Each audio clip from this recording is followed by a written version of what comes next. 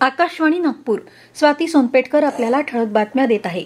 पंतप्रधान नरेंद्र मोदी यांच्या हस्ते आज सायंकाळी दूरदृश्य प्रणालीच्या माध्यमातून जागतिक शाश्वत विकास शिखर परिषदेचं उद्घाटन होणार आहे. सर्वांच्या भविष्यासाठी सुरक्षित आणि संरक्षित पर्यावरण ही या परिषदेची संकल्पना आहे. द एनर्जी अँड रिसोर्सेस इन्स्टिट्यूटनं या विसाव्या परिषदेचं आयोजन केलं असून हवामान बदलाच्या विरोधातील लढाईसाठी या परिषदेत विविध देशातल्या प्रतिनिधींसोबत व्यावसायिक शिक्षण तज्ज्ञ हवामान शास्त्रज्ञ आणि युवक सहभागी होण्याची शक्यता आहे.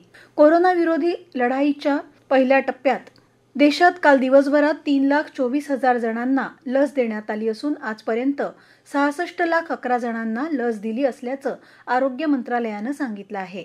देशात कोरोनाचे रुग्ण बरे होण्याचा दर सत्त्याण्णव पूर्णांक सत्तावीस शतांश टक्क्यांवर पोहोचला आहे. देशभरात कोरोनाचे एक्केचाळीस हजार पाचशे अकरा रुग्ण उपचाराधीन आहेत. देशात काल अकरा हजार सदुसष्ट नव्या रुग्णांची नोंद झाली. त्यामुळं कोरोनाबाधितांची एकंदर संख्या आता एक कोटी आठ लाख झाली आहे.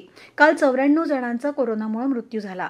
देशात आतापर्यंत एक लाख पंचावन्न हजार जणांचा कोरोनामुळे मृत्यू झाला आहे. पंजाबराव देशमुख व्याज सवलत योजनेतून शेतकऱ्यांना प्रत्येकी एक लाखांपर्यंत बिनव्याजी कर्ज तर तीन लाखांपर्यंतचं कर्ज दोन टक्के व्याजानं दिलं जाणार आहे असं उपमुख्यमंत्री अजित पवार यांनी सांगितलं. नाशिक आणि नागपूरच्या मेट्रो उभारणीत राज्य सरकार आपला वाटा देईल असंही ते म्हणाले आहेत. केंद्रीय अर्थसंकल्पात महाराष्ट्रातील पायाभूत विकास प्रकल्पांसाठी तब्बल तीन लाख पाच हजार सहाशे अकरा कोटी रुपयांची तरतूद करण्यात आली आहे. त्यामुळं या अर्थसंकल्पात महाराष्ट्राला काहीच मिळालं नाही. हा विरोधकांचा आरोप धादांत खोटा असल्याचं विरोधी पक्षनेते देवेंद्र फडणवीस यांनी आज स्पष्ट केलं. भाजपा प्रदेश कार्यालयातील पत्रकार परिषदेत फडणवीस यांनी केंद्र सरकारनं अर्थसंकल्पात केलेल्या तरतुदींची सविस्तर माहिती दिली. बोर व्याघ्र प्रकल्पानजीक सेलू तालुक्यातील डोंगरगाव तलावावर बहार नेचर फाउंडेशनच्या वतीनं पक्षी निरीक्षण कार्यक्रम आयोजित करण्यात आला होता. यावेळी तलाव परिसरात केलेल्या पक्षी गणनेत पन्नास प्रजातींचे असंख्य पक्षी आढळून आले आहेत.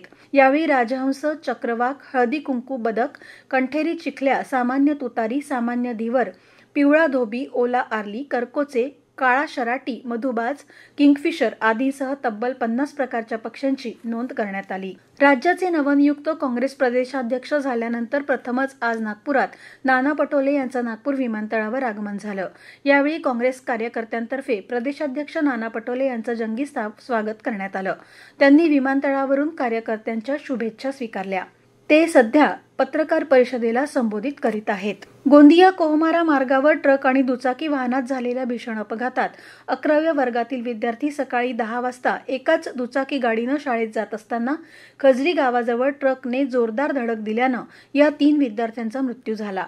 ट्रक चालक या घटनास्थळावरून पसार झाल्याचं आमच्या प्रतिनिधीनं कळवलं आहे. याबरोबरच हे ठळक बातमीपत्र संपलं. नमस्कार.